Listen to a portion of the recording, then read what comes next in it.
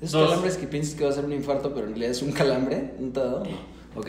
No, ¿podemos Hola, empezar? Podemos empezar. Podemos. Hola. Chica de Beverly Bienvenidos. Hills 90 210. Thank you very much. Bienvenidos a Jimena y Julio o Jimena y Reggaeton Style Julio. Porque hoy, pues, la neta te disfrazaste porque no, es tu pa- estilo. no, o sea, pero ¿cómo? Muy patriota. Ah, sea, ok. ¿Viste? Aparte Ah. me regalaron esta gorrita y Hoy, ¿qué creen? Viene muy acorde al vestuario de Julio. Exactamente. El y a tema. ella. No, el igual. Estamos disfrazados para contar esto. Sí, tu más grande vergüenza, tu más grande oso, tu más grande pena, o como le Sí, quieran un, llamar. oso- un osazo que te hayas aventado. Tu outfit está como de oso y el, mío El también. mío, sí. Pero, el- pero, ¿tú tienes uno fuerte? No, yo tengo un oso muy fuerte Ajá. que la verdad medité mucho. Ajá. Si lo iba a contar o no lo voy a contar, pero sabes que sí lo voy a contar porque es una cosa que le puede pasar a cualquier mujer. Ok. ¿Ya vieron cómo empezó como a darle una profundidad a su oso para que entonces no sea tan doloroso? no, es es que- un oso igual, pero Es un super mega oso. No, ni más. Empiezas tú. No, ¿por qué? No, porque sí. Hablas de tú de tu oso y luego yo ya veo si hablo del mío. Depende de cómo está el tuyo. Ok, mi oso está bien oso. Ok, a ver. O sea, el oso. Ahí te va. Estoy un día como cualquiera y me dicen, oye, es la boda de la hermana de un amigo, que Ajá. no era muy mi amigo, ¿ok? Ok. Entonces me dicen, güey, vente a la boda. Y le digo, no, qué flojera, cómo era la boda, yo no sé qué, pues no te invito. Güey, vente, es la mesa de puros cuates, vienes a la boda. Perfecto. Ajá.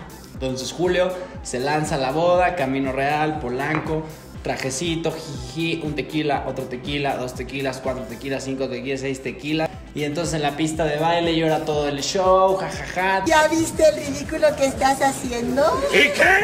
Entonces, algo que nunca me pasa y que yo no puedo hacer, voy al baño Ajá. y me siento mal. Ajá. Y entonces me dan ganas de vomitar, pero yo tengo un problema con vomitar. Ya dijiste Ya- que ya no puedes. comentado, yo no puedo. Ajá.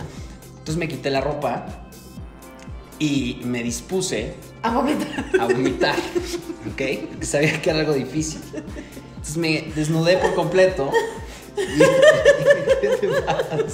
No estás Tipo, ayudando. calcetines y zapatos Todo, también. todo, todo, todo.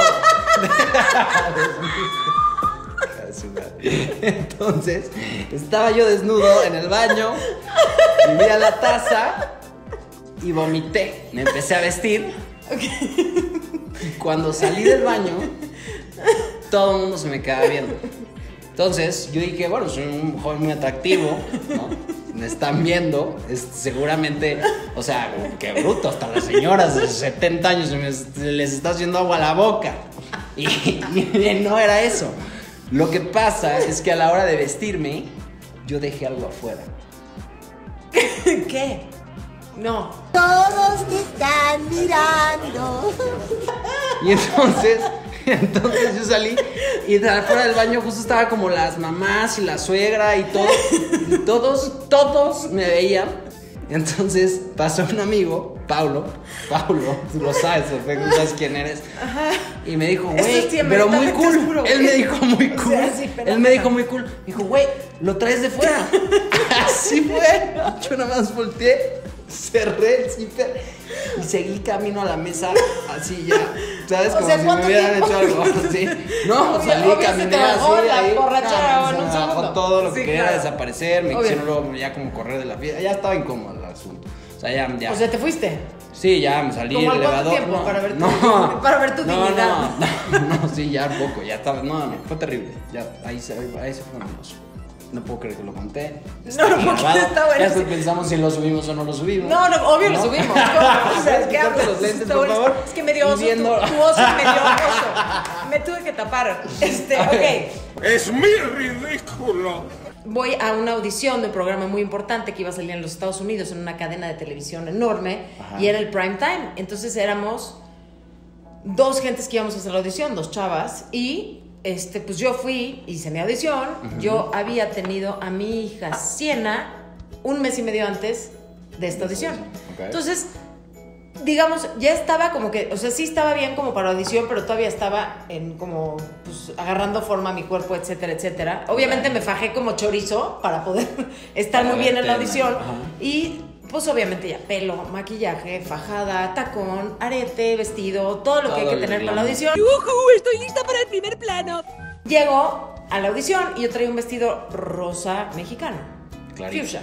Fuchsia. Fuchsia. Fuchsia, Lo que se le llama fuchsia. Lo que se le llama el color fuchsia, así es. Entonces, este, empiezo yo, muy, muy linda, agarro mi micrófono, mi compañero al lado mío.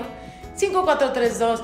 Hola, bienvenidos a bla, bla, bla, bla, bla, bla. Y lo que venía a la audición, teníamos que improvisar, teníamos que leer a prompter y muchas cosas. Y de repente yo, así como que dices, híjole, estoy de veras neta, wow, me estoy Fire. luciendo la audición, muy cañón. Llevaba como 5 minutos la audición, ¿no? Y de repente, corté. Jimena, eh, yo sí, ¿qué pasó? ¿Todo bien? Este, este, así, pero no me veía los ojos. Me decía, sí, este, todo bien, nada más que es- te manchaste, te manchaste, Jimena, yo creo que vete a cambiar. Y yo, ¿cómo? Volteo para abajo y veo que en toda el área No, se te salió de mis la boobs leche. este, estaba el vestido rosa mexicano fuchsia, estaba negro. Porque se me salió, No es manché cierto, todo. No es cierto. Y fue una gran, gran, gran ¿Cómo vergüenza. te, ¿Cómo te sentiste? ¿Has oído esa frase que dicen lloré de la pena? Ajá. Literal lloré de la pena. O sea, obviamente en cuanto, en cuanto me vi y vi, salí corriendo del estudio, pero corriendo. O sea, ya no, no hablé con nadie más. Salí corriendo y como gallina sin cabeza, de esas que chocas como contra la puerta. Y yo no sabía como por dónde salirme. Entonces era como así. Y aparte era pues puro hombre. Ay, la verdad es que no había, creo que había una mujer. Eh, entonces, como que chocaba con la puerta, todo. Salgo, logro salir, alguien me ayuda a abrir la puerta. Salí corriendo, así de que entaconada y hace cuenta que traía flats, ¿no? Ajá. Salí corriendo como loca, llegué a mi camerino, me senté y lloré, y lloré, y lloré. Entonces la chava, la maquillista y la peinadora me estaban ayudando a secar mi vestido mientras para yo poder volver y regresar a hacer mi audición. Y obviamente regresé a hacer la audición como toda una profesional, pero fue la peor audición de mi vida. No te quedaste. No me quedé. No me quedé. Mi amor, ¿qué, qué, qué pasó? Te sentiste un poco mal y tuviste un ligero ataque. Bueno, este video fue muy triste.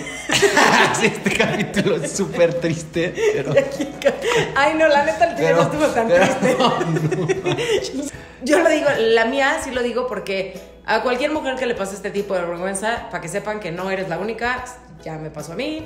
Y estas vergüenzas que uno Jimena pasa en la contigo. maternidad, exacto, yo estoy contigo, pues así son y, y ni modo, hay Pasan que seguirle para adelante. Sí. Bueno, ¿No? por ahí. pues, Y cerrarse el cierre cuando Pues sí. vayas al bueno. baño. Bueno, este. Gracias. Ok, gracias. Ay, No, sí, no, puta, qué, qué monos pusimos solos, pero pues qué no padre, falta que lo compartan, ¿no? Sí, o no. Ay, sí, o este no lo compartan. Este, Este no. denle like y. No, y pongan sus comentarios. La neta, ya si quieren compartir algún oso, Algún bienvenido sea. ¿no? No nos dejen ser los únicos. sea de peluche, no se haga. Nah. Chao.